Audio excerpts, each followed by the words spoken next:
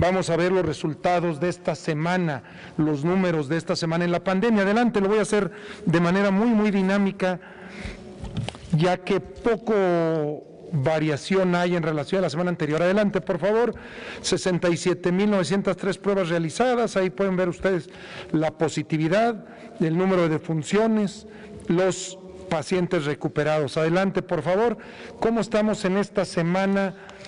Eh, adelante, la siguiente es todavía más representativa, esta precisamente, exactamente el mismo número de contagios, 65 igualito a la semana anterior y prácticamente, si ustedes pueden ver, pues en las últimas cuatro semanas han dado rondando en esos números de 65 a 60, si sacáramos ahí en promedio, son nueve contagios diario. Adelante, por favor, la mortandad lamentablemente tres muertes exactamente las mismas que la semana anterior, pero afortunadamente dentro de lo malo es que es mucho menor de, de lo que había sido las semanas previas, después de la primera de junio ya se fue a cuatro, tres, tres. Adelante, vemos aquí los contagios, la recuperación y las defunciones por género, que prácticamente a lo largo de la pandemia han tenido una constante. Adelante, igualmente cómo está el porcentaje de contagios y decesos, donde 50 y más, que por cierto, sigue avanzando la vacunación eh, de manera importante, ahorita lo veremos, pues sigue representando el mayor número, lamentablemente, de decesos, la edad de 50 y más, con prácticamente un 87 ciento adelante. Contagios y defunciones de trabajadores del sector salud, una enfermera, compañera enfermera, un trabajador también del sector, ningún médico, son dos esta semana. Adelante, ¿cómo estamos? Otra diapositiva mucho, muy importante, ¿cómo está la capacidad instalada? Hoy tenemos ocho hospitalizados, es de las semanas que menos, quizá la que menos hospitalizados tenemos, seis en el IMSS, dos en el sector salud, cuatro estables, cuatro graves. Hacemos votos y oración por pronta recuperación de esos pacientes intubados. Podemos ver que de nuestras 230 camas tenemos 102 camas sin ventilador, solo cuatro ocupadas, y de las 124 con ventilador, también cuatro ocupadas. Realmente estamos en los niveles porcentuales más bajos de ocupación hospitalaria. Adelante. ¿Dónde se ha contagiado la gente? En Zacatecas en las últimas dos semanas.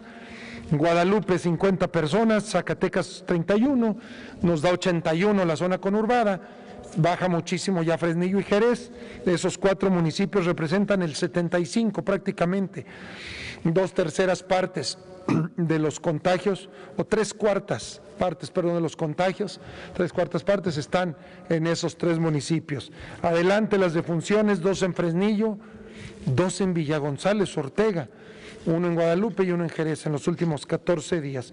¿Cómo está el reporte de vacunación de unidosis, cancino? Ahí tenemos 8.546 eh, ciudadanos ya con esquema completo. Si nos vamos a, a Sinovac también en la misma edad, la próxima semana ya presentaremos únicamente globales de por edad otras 22 mil personas ya tienen primera dosis y 22 mil, que es prácticamente lo mismo, ya esquema completo. Fue lo que, parte de lo que avanzamos esta semana. Adelante, en AstraZeneca tenemos 18 mil personas con una dosis. Adelante, en el tema de Pfizer hay 90 mil 500 personas con una dosis, pero ya cumplimos el esquema con 76 mil. Adelante, esquemas completos, que esta es finalmente la que nos da un panorama muy claro. Personal médico 17 mil vacunados, adultos mayores 142 mil, maestros 41 mil, y aquí, que es donde estamos avanzando, ya llegamos a 108 mil de adultos de 50 a 59 y de adultos de 40 a 49 van 1.140 con un esquema completo próximos días estaremos aplicando segundas dosis y vamos a avanzar en un número considerable.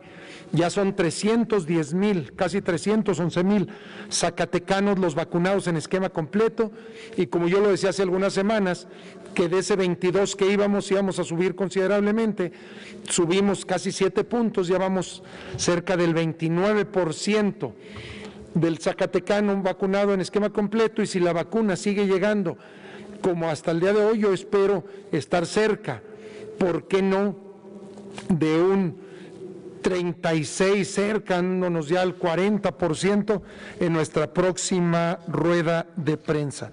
Finalmente, el comportamiento de la violencia hacia las mujeres esta semana, pues con una disminución eh, muy poca, este, muy marginal, de 1.518 a 1.404, que sigue siendo muchísimas las denuncias por violencia intrafamiliar, violencia contra las mujeres. Esos serían los datos esta semana en cuanto a la estadística del reporte COVID.